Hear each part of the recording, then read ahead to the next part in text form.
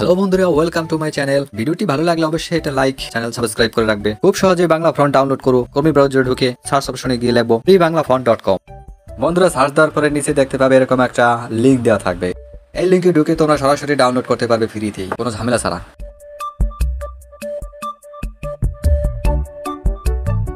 এখান থেকে মোটামুটি আমি সবকটাই ডাউনলোড করেছি ফরনগুলো।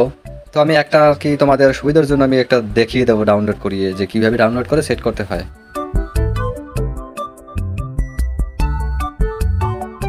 বন্ধুরা, যে কোনো ফন্টে গিয়ে এখানে একটু নিচে দেখতে পাবে ডাউনলোড নামে একটা অপশন আছে। বন্ধুরা ডাউনলোড করার সাথে সাথেই সে ডাউনলোড হয়ে যাবে। এখানে আর কোনো কাজ নেই, এখানে ওপেন হবে না। তাই সরাসরি চলে যেতে হবে ফাইল ম্যানেজারে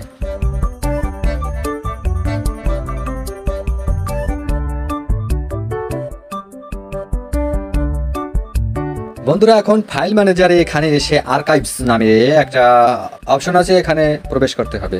এখানে আগে দেখা যাবে বাংলা ফ্রন্টগুলো উপরটা এলো নতুন, আর যে কটা ছিল আমি আগে থেকে নামিয়েছিলাম। তো এখানে ডান করতে হবে সব কিছু ওকে করতে হবে। ওকে করার পরে আমি টেক্সট ল্যাবে ঢুকে গেলাম। বন্ধুরা, এখন সরাসরি পিক্স ল্যাবে গিয়ে এখানে আমি টেক্সট অপশনে গিয়ে আমার নামটাই লিখলাম গৌতম রায়। আমি এটা এখন বিভিন্ন ফ্রন্টে যুক্ত করব।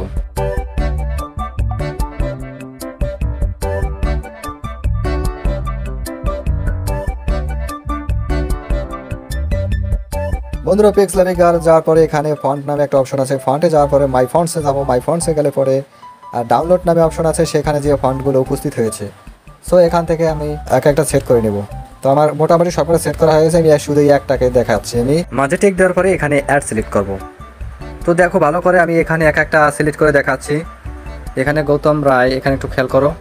আর এখানে দেখো, বাউন্ন, এখানে দেখো চেঞ্জ হচ্ছে। এখানে চেঞ্জ হচ্ছে। এখানে চেঞ্জ হচ্ছে। এখানে চেঞ্জ হচ্ছে। এইটা আমি ডাউনলোড করেছিলাম বিদায়, এটা দিয়ে আমি দেখাচ্ছি।